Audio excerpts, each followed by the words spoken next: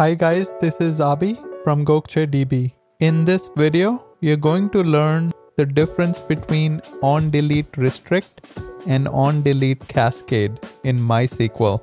Let's start by looking at the entity relationship diagram. I have four tables, property, cash underscore sales, customer, and sales underscore status. Let's insert some records into the property table, customer table, and sales underscore status table. I will be using a MySQL alias where I'm passing the authentication details using a config file. To insert these records, input the SQL file in the MySQL alias. Use the select star from table syntax to verify that the records were successfully inserted in all three tables. Note that the ID columns in the property, customer, and sales status tables are being used as foreign keys in the cash underscore sales table.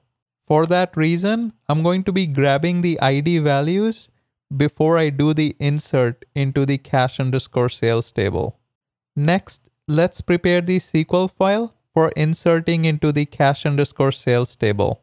Input this file to the MySQL alias then use the select star from table syntax to verify. Now let's look at the table definition of cash underscore sales table using the show create table syntax.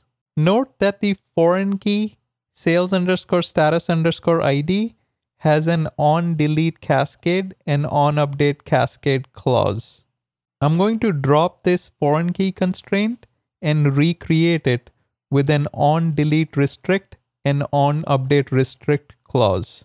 Now watch what happens when I try to delete a record from the sales underscore status table that's being referenced in the cash underscore sales table. I get an error saying cannot delete or update a parent row, a foreign key constraint fails. Next, I'm going to drop the sales status ID foreign key and recreate it with on delete cascade an on update cascade clause. Now watch what happens when I try to delete a record from the sales underscore status table. It goes through without an error. Because of the on cascade clause, both the records in the sales underscore status table and the ones that referenced in the cash underscore sales table were deleted. There you have it. Make sure you like, subscribe, and turn on the notification bell. Until next time.